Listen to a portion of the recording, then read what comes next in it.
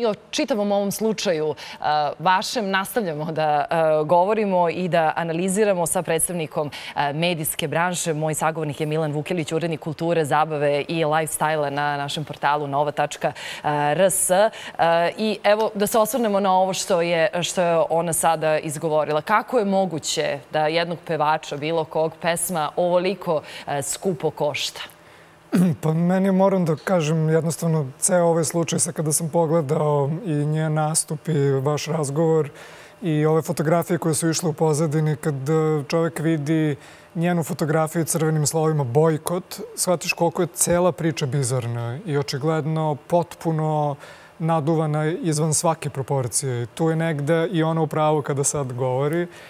Ne verujem da bi bilo ko, da 90% da ljudi koji se sad tako vatreno bave ovim slučajem, slušaju nas kako pričamo, pa će za kafom ujutro da pričaju o tome, da, će, da su uopšte čuli za nju pre toga, iskreno. Mislim da ona I to onda je dokaz po meni koliko je zapravo iskorišćena zapaljiva situacija u Crnoj Gori. Zbog izbora i uslovljena izbora e to sam htjela da te pitam kao nekog ko, ko, ko se dugo da. bavi ovim poslom i znaš kako sve to izgleda i ti klikovi i čitanost u štampanim e, medijima. Da je ona otpevala ovu pesmu u nekom drugom trenutku, da li bi ovolika no, pažnja bi, medija? Da, to bi bila neka možda vestica negde na nekom obskurnom uh, kvazi patriotskom tabloidu, privuklo bi neku malu pažnju, niko se time ne bi bavio. A da ne pričamo o tome da ona nikad ne bi završila na naslovnim stranama. Ali, kažem, ta logika tabloidnog novinarstva je, na, nažalost, takva da jednostavno oni se ponašaju manje više kao hijene. Kada prepoznaju ranjenu ranje, ranjenu žrtvu, onda se i, i namirišu krv, po znacima navoda, oni se ustreme na njih. I to onda traje danima. Ti dobiješ temu na kojoj onda imaš naslovne strane, voziš tu priču i zapravo se na neki način nadaš lošim vestima tu, što je katastrofa. Da, ali onda se potpuno odvajamo od toga, dakle, da li je njihov motiv to što je ona eto, unela taj raskol između dva naroda pevajući svoju da. pesmu ili je njihov motiv to što treba na toj priči insistirati dalje zbog klikova pa, i gledanosti. Negde, šta je tu? Da.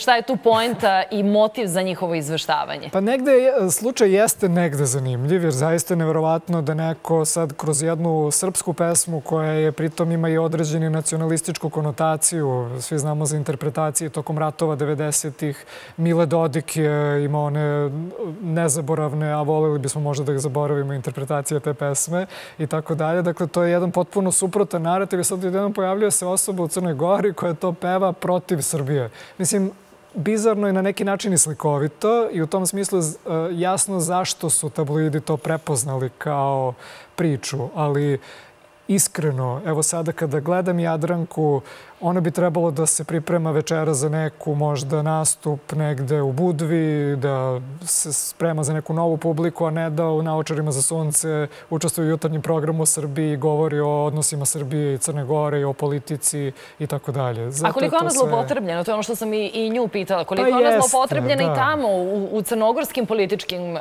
krugovima? Pa očigledno jeste i njoj očigledno teško da to prizna i ja to negde razumem. Malo mi je žao što nije iskoristila možda i priliku da priznaje, da kaže ok, pogrešila sam, nije trebalo ovako, ali uh, je jasno da, da tu nikakve posebne politike nema. I to je negde sigurno tako. Ti dođeš pred publiku, oni vitluju u crnogorskim zastavama, pevaju tu pesmu i ti ćeš nešto da hoćeš da animiraš njih. Nekako mi se čini da je to zaista jedna prilično naivna priča koja je to postala ovo što je sad. Što A je li preterano to? Evo, imamo najave pojedinih medija da će zabraniti. Uh, je li se otišlo uh, predaleko i zašto se sada dokazuje srpstvo zabranom uh, jedne crnogorske da. pevačice? Pa za sve nas koji se sećamo 90-ih i kako je to izgledalo, kada je počele sve, bile, bio slučaj Tereze Kesovije, da ne spominjem, pa posle Olivera Dragojevića, mnogih drugih, ta vrsta prepucavanja i targetiranja ljudi, iz estrade, iz umetnika i tako dalje je mene, evo sad sam se naježio kad se setim toga, jer svi znamo kako se to dešava i koje su posledice toga. A posebno kad se ima u vidu da sadašnji mediji koji to rade, mnogo od njih vode isti ljudi koji su tu istu politiku sprovodili 91. te stvari nas, ja mislim, kao društvo treba da brinu, a ne Jadranka i njen nastup pred malom grupom fanova Mila Đukanovića u Crnoj Gori. Mi kad taj problem rešimo, da jednostavno ostavimo u prošlosti gde mu je mesto taj uopšte način razmišljanja, e onda smo nešto uradili ovako. Ali da, to, to, evo ti si da. spomenuo da. neke primere iz istorije, ali nije strano i e, domaćim, ali evo i uh, političarima u regionu da određene javne ličnosti koriste za širenje svojih političkih stava. To imamo i u Srbiji. No, Tako ima da, i u Americi, da, jasno. Naravno, da. da. da. Ali onda sve te javne ličnosti, da li s druge strane možemo da kažemo, pa dobro, kada si ušla u tu igru, e, onda su ovo posledice posledice.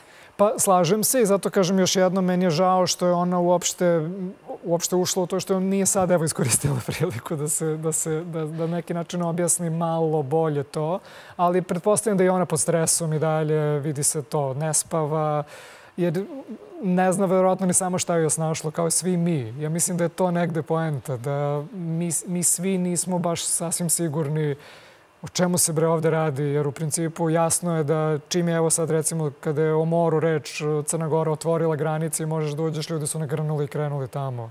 Kakvi, kakve svađe, kakva mržnja između Srba i Crnogoraca, to je sve fabrikovano i izmišljeno. To ne da, može niko da uradi. Apsolutno. E, e, da. I ljudi će dalje slušati njenu muziku koju je vole ovde u Srbiji Ubeđen sam. Ona sad sledeću svirku ili ono tezgu kada najavi ovde, to će biti rasprodato, 100%. E, to sam htjela da te pitam. Da. da, evo i ona je to takođe rekla, svaka reklama je Ma, dobra naravno. reklama, mada uh, imam utisak... To je Madonna rekla pre. da, da, da, mada, mada imam utisak da bi se ove reklame uh, odrekla, ali da li misliš da će imati neke posledice u svetu, već kada govorimo o show biznisu na svetskom nivou, uh, javne ličnosti vrlo snose posledice za svoje gafove i fanovi su nekako tu, znaju da budu kritični i da nekoga odbace. To sam posebno, da. Kod da. nas, kod nas, e, rekla bih da ne, da se Ma brzo ne, zaboravlja. To, je, to traje dva dana, za, za pet dana više se niko od, od šire javnosti neće sećati celog slučaja. Kažem, ljudi koji to vole će slušati i dalje.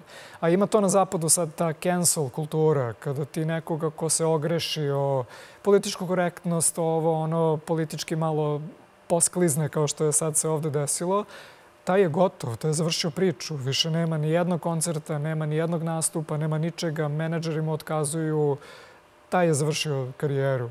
Ovde mislim da je to malo opuštenije, nije toliko baš strašno. Jel može, da... E, evo, e, za kraj može da profitira od čitave ove situacije? Ja sam ubeđen da hoće i da već jeste zapravo. Evo, iskreno... U koncu, evo da mi sad da se bavimo pa, da, da njom, sad svi znaju njeno ime i prezime, da, pre toga. da. E, pitanje je, dakle, misliš da će ipak uspeti da kapitalizuje ovo što je se dogodilo? Apsolutno. Ja... I to u Srbiji? Ma i u Srbiji, naravno. Mislim, sad, kažem, određeni krugovi će tu da nastave da dižu dževo, ali to će sve da se vrati u određene tokove u kojima bi bilo i pre ovoga. Ona sad ljudi znaju ko je ona, sutra kad se uda, svi će reći sećate se Jadranke i one pesme, pa udala se i onda one i tako dalje. To je da, to. Eto, to tako. Da, pa da. da, da, Medi. Hvala ti mnogo što si Hvala bio gost. Probudi se Milan Vukjević.